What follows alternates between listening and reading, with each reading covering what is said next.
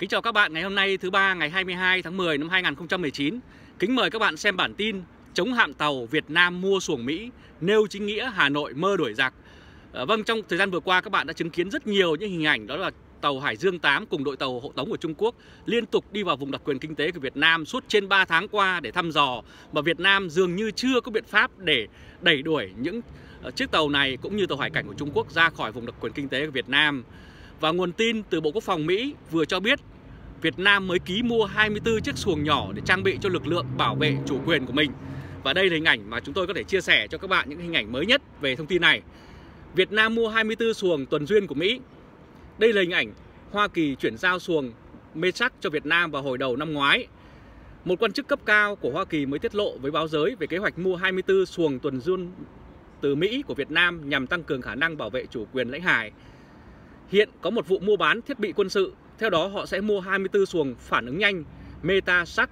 các xuồng nhỏ nằm nhằm hỗ trợ các hoạt động của cảnh sát biển Việt Nam. Đô đốc Kha Sut, tư lệnh quân Tuần Duyên Mỹ nói trong một cuộc họp báo ở Philippines ngày hôm nay 22 tháng 10 năm 2019. Và điều nghiêm trọng là hiện nay Việt Nam và Trung Quốc đang đối đầu rất căng thẳng trên Biển Đông khi Trung Quốc cương quyết thực hiện chính sách với sách trắng quốc phòng và chính phủ nước này tuyên bố chủ quyền trên 90%, 90% diện tích trên Biển Đông và điều đó chúng ta có thể ờ, chứng kiến trong hình ảnh mới nhất của ờ, nhà nghiên cứu đã đưa ra ờ, trong thời gian vừa qua và đặc biệt với cái việc tuyên bố của Trung Quốc Trung Quốc kêu gọi Việt Nam đối thoại về Biển Đông. Đây là hình ảnh phát ngôn của Bộ Ngoại giao Trung Quốc cảnh sảng. Bắc Kinh kêu gọi Hà Nội đối thoại hòa bình để giải quyết tranh chấp ở Biển Đông sau khi Việt Nam đẩy mạnh lên án Trung Quốc vi phạm chủ quyền. Báo Duyết China Morning Post, tức là bưu điện Hoa Nam buổi sáng, trích lời phát ngôn viên của Bộ Ngoại giao Trung Quốc cảnh sảng nói tại cuộc họp báo vào hôm thứ Tư, ngày 16 tháng 10 năm 2019 vừa qua,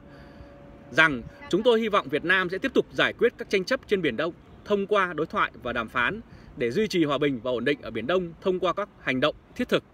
Và đây là cảnh báo của Trung Quốc đã đưa ra đối với Việt Nam ngay lập tức sau khi ông Tổng Bí thư Chủ tịch nước Nguyễn Phú Trọng vào ngày 15 tháng 10 năm 2019 đã chia sẻ với những cử tri về việc ờ, giữ gìn ờ, chủ quyền biển đảo nhưng ông Nguyễn Phú Trọng cũng không nói rõ là do nước nào xâm phạm và lập tức là Trung Quốc đã có những phản ứng tức thời. Và điều nghiêm trọng đang diễn ra trên 3 tháng qua tại khu vực bãi tư chính và những vùng biển thuộc vùng đặc quyền kinh tế của Việt Nam đã nói lên tham vọng bá quyền không ngừng của Trung Quốc và đây là hình hải trình mới nhất mà chúng tôi xin gửi các bạn xem. Nhà nghiên cứu Phạm Thắng Nam cho biết thông tin mới nhất vào hôm nay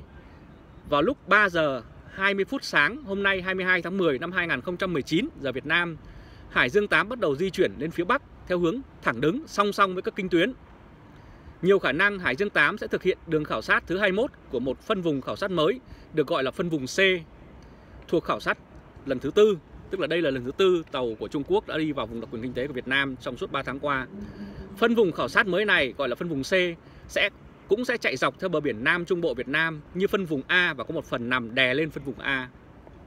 Phân vùng C nói trên sẽ chạy theo hướng Nam Bắc, Bắc Nam và đi qua phần bên phải của các lô block thăm dò khảo sát dầu khí ở Nam Trung Bộ của Việt Nam nhưng vừa qua Trung Quốc nhận vơ là của mình. Cũng còn khả năng Hải Dương 8 chạy lên vĩ tuyến 11 độ Bắc rồi sau đó theo lộ trình quen thuộc chạy về đá đá chữ thập để tránh va với đá chữ ngầm, đá ngầm. Và đây nếu để gần lại các bạn sẽ rất rõ những cái hải trình và những cái phân luồng cũng như là những cái đường đi của tàu Hải Dương 8 cùng đội tàu hộ tống của Trung Quốc rất thẳng và rất đều đặn ờ, và dường như họ không gặp bất cứ một phản ứng nào của từ phía Việt Nam hoặc cũng có thể Việt Nam không thể phản ứng được vì ờ, Trung Quốc là một đất nước cũng có tiềm lực quân quân, quân sự và quốc phòng rất lớn ờ, cho nên Việt Nam chưa thể làm gì và không thể làm gì được khi mà họ xâm phạm chủ quyền của Việt Nam như vậy. Và Đô đốc Kha Sus, tư lệnh tuần duyên Mỹ cũng ngày hôm nay 22 tháng 10 năm 2019 đã tiết lộ thêm thông tin như sau. Đô đốc Hải quân Mỹ ông Sút nói thêm rằng quan hệ với phía Việt Nam hiện rất vững mạnh, đồng thời cho biết rằng phía Mỹ đã chuyển cho Việt Nam một tàu tuần duyên trọng tải cao theo chương trình bán trang thiết bị quốc phòng dư thừa, viết tắt là EDA của Mỹ.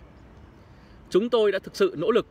với các cơ quan chính phủ Mỹ để tăng cường năng lực cũng như khả năng của lực lượng cảnh sát biển Việt Nam Ờ, đô đốc đã nói như vậy và đây hình ảnh của các bạn đã xem là của đô đốc đó và trước đe dọa ngày càng tăng từ sự hung hăng của Trung Quốc trên Biển Đông, Việt Nam gần đây đã hợp tác nhiều hơn nữa với quốc phòng với Mỹ để tìm tiếng nói bênh vực chương trình nhận và mua tàu tuần tra cũng là nằm trong chiến dịch này của Hà Nội. Và thông tin tiếp theo chúng tôi xin gửi đến các bạn là tin cho hay chương trình EDA cung cấp thiết bị quân sự dư thừa cho đối tác của Hoa Kỳ và các quốc gia đồng minh để hỗ trợ cho các nỗ lực hiện đại hóa an ninh và quân đội của họ. Hồi tháng 6, cũng trong một cuộc họp báo khi được hỏi về việc Mỹ sẽ hợp tác như thế nào nhằm, nhằm củng cố quyền tự do hàng hải với các nước thuộc tuyên bố chủ quyền ở Biển Đông, Đô đốc Schultz đề cập tới việc đã đón tiếp lãnh đạo của Cảnh sát biển Việt Nam tại trụ sở ở thủ đô Washington và đang hợp tác chặt chẽ với phía Hà Nội. Vì là láng giềng của Trung Quốc, rõ ràng họ phải rất cẩn trọng trong quan hệ ở khu vực, ông Schultz nói. Và đây là hình ảnh ông trả lời phỏng vấn trên truyền hình. Và bà Andre Thompson, Thứ trưởng Ngoại giao Mỹ, chuyên trách về kiểm soát vũ khí và an ninh quốc tế cũng cho biết thêm. Đây là hình ảnh của bà. Đây là hình ảnh của bà ờ, uh, Andre Thompson, Thứ trưởng Ngoại giao Hoa Kỳ chuyên trách về kiểm soát vũ khí và an ninh quốc tế. Washington muốn Việt Nam có các thiết bị quân sự tốt nhất của Mỹ. Chúng tôi sẽ nóng lòng muốn làm việc tiếp với các chính phủ Việt Nam để bảo đảm rằng họ có các thiết bị quân sự tốt nhất trên thế giới và các thiết bị đó tới từ Mỹ. Bà Thompson đã nói như vậy và đây là tiết lộ của bà. Và Đại sứ quán Mỹ tại Việt Nam cũng cho biết thêm thông tin như sau. Đây là hình ảnh ờ, của Đại sứ Mỹ tại Việt Nam, ngài Daniel ờ, uh, Kuptenrich. Hoa Kỳ năm ngoái đã chính thức bàn giao 6 xuồng tuần tra Meta sắc dài 14 m cho Cảnh sát biển Việt Nam tại vùng Cảnh sát biển 3 Khánh Hòa đánh dấu thêm một bước quan trọng trong việc hợp tác an ninh liên tục giữa Hoa Kỳ và Việt Nam. Việc bàn giao những tàu tuần tra này thể hiện sự hợp tác sâu sắc giữa Việt Nam và Hoa Kỳ trong lĩnh vực thực thi pháp luật trên biển, tìm kiếm cứu nạn trên biển và các hoạt động hỗ trợ nhân đạo trên biển trong lãnh hải và vùng đặc quyền kinh tế của Việt Nam. Cơ quan ngoại giao của Mỹ ở Hà Nội đã nói như vậy. Ờ, thời gian trước đây, Việt Nam thường chủ yếu mua sắm các loại vũ khí chiến lược từ Nga và hình ảnh mà chúng ta thấy rất rõ uh, trong những cái thông tin của thông tấn xã Việt Nam cũng đã đăng tải là Nga bàn giao thêm hai máy bay Su-30 MK2 cho Việt Nam. Đây là hình ảnh chiếc máy bay Su-30 MK của Việt Nga. Ngày 10 tháng 8, đại diện chính thức uh, S. Samtho cho biết không quân Việt Nam đã nhận hai máy bay chiến đấu Su-30 MK2 trong khuôn khổ hợp tác và hợp đồng với Nga. Sputnik đưa tin, ngày 10 tháng 8, đại diện chính thức của Trung tâm Phân tích Buôn bán Vũ khí Thế giới S-Samtho cho biết không quân Việt Nam đã nhận hai máy bay chiến đấu đa chức năng Su-30 MK2 trong khuôn khổ hợp đồng hợp tác với Nga. RIA Novosti dẫn lời đại diện của Samtho nói căn cứ không quân Việt Nam tại Đà Nẵng đã nhận hai máy bay chiến đấu đa năng Su-30 MK2 tiếp theo được giao theo hợp đồng về việc cung cấp cho đối tác Việt Nam 12 chiếc máy bay loại này.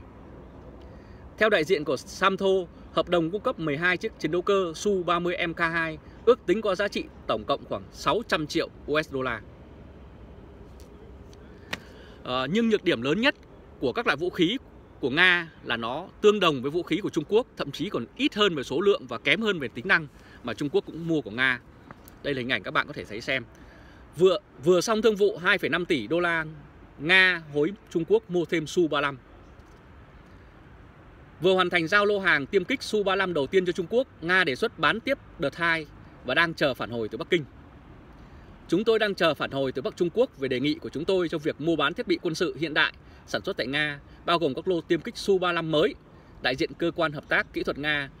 quân sự Nga nói với các phóng viên tại Army 2019 tại diễn uh, diễn ra tại Kubrika, ngoại ô Moscow, Sputnik cho biết. Lô Su-35 đầu tiên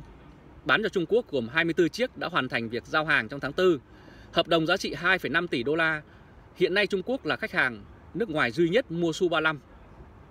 Indonesia cũng đang quan tâm mua 11 chiếc Su-35 trị giá khoảng 1,15 tỷ đô la bất chấp áp lực từ trừng phạt từ Mỹ.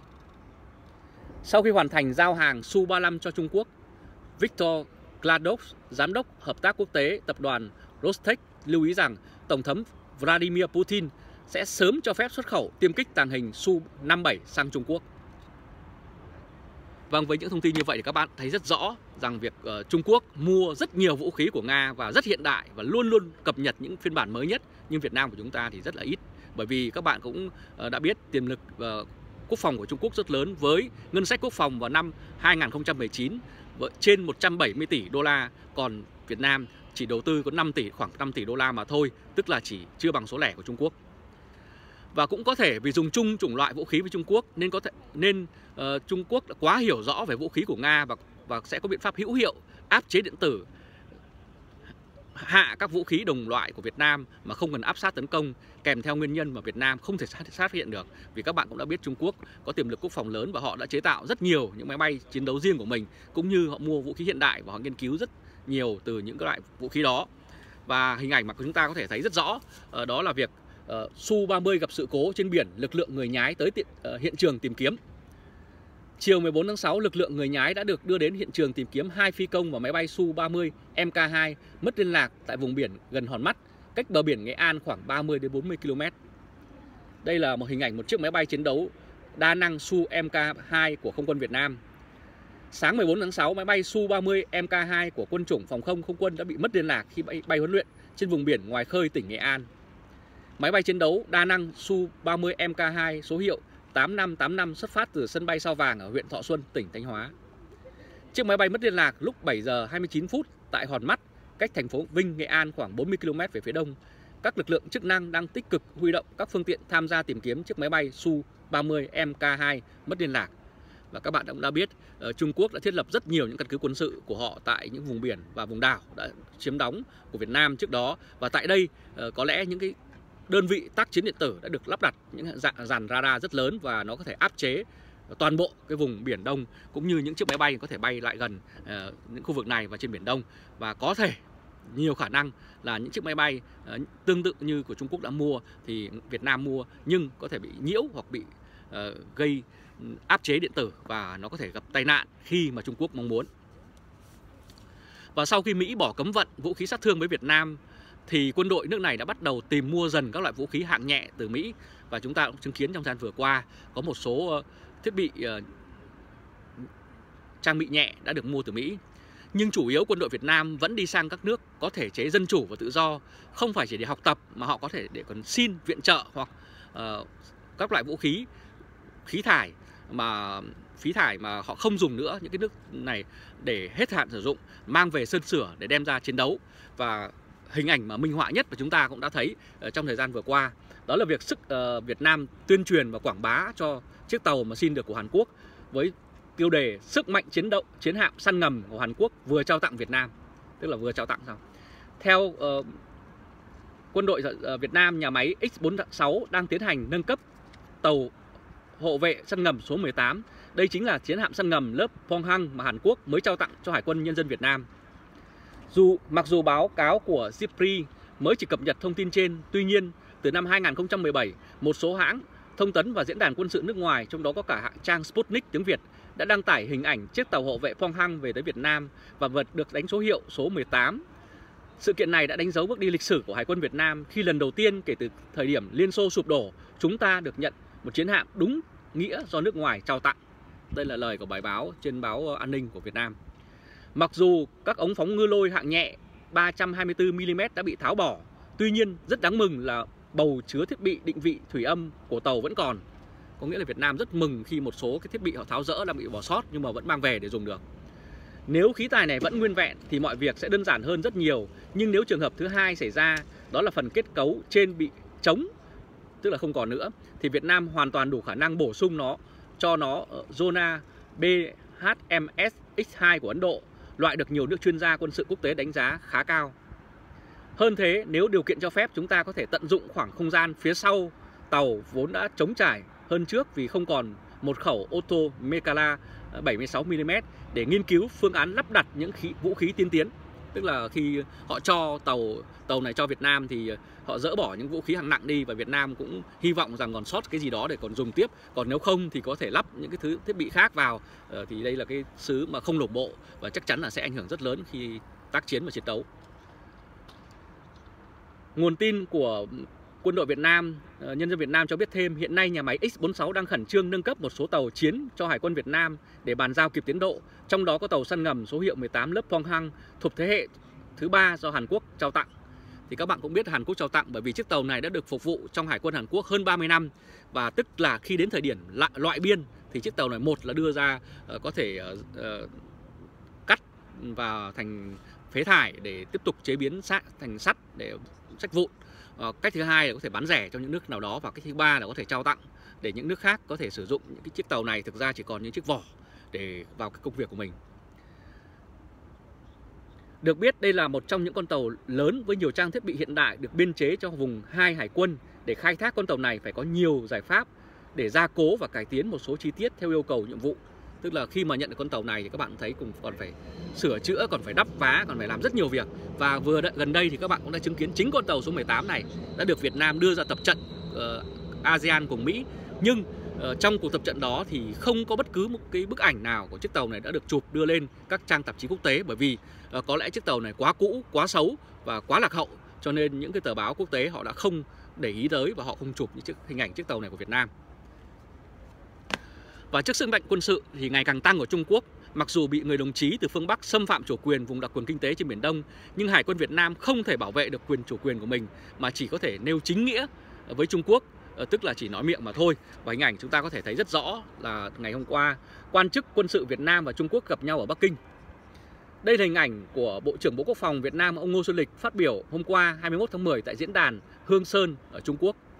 Phó Chủ tịch Quân ủy Trung ương Trung Quốc Hứa Kỳ Lượng hôm 22 tháng 10 là hôm nay đã tiếp đón Bộ trưởng Bộ Quốc phòng Việt Nam Ngô Xuân Lịch nhân dịp lãnh đạo quân sự Việt Nam tới Bắc Kinh dự diễn đàn Hương Sơn về quốc phòng. Tân Hoa Xã dẫn lời ông Hứa nói tại cuộc gặp rằng các lực lượng vũ trang Trung Quốc muốn thúc đẩy liên lạc, chiến lược, tăng cường phối hợp trên các diễn đàn đa phương và xử lý phù hợp các tranh chấp với phía Việt Nam. Cuộc gặp này đã diễn ra một ngày sau khi Bộ trưởng Quốc phòng Trung Quốc Ngụy Phượng Hòa tuyên bố rằng Biển Đông là phần không thể tách rời của Trung Quốc, của lãnh thổ Trung Quốc. Và ông nói, chúng ta sẽ không để một tấc đất mà tổ tiên đã để lại cho chúng ta bị lấy đi. Ông Ngụy nói tại diễn đàn Hương Sơn ngày hôm qua 21 tháng 10. Báo chí đưa tin ông Lịch dự diễn đàn này từ ngày 20 đến 22 tháng 10, nhưng hiện không rõ ông Lịch có ngồi nghe bài phát biểu gây tranh cãi của người đồng nhiệm Trung Quốc hay không.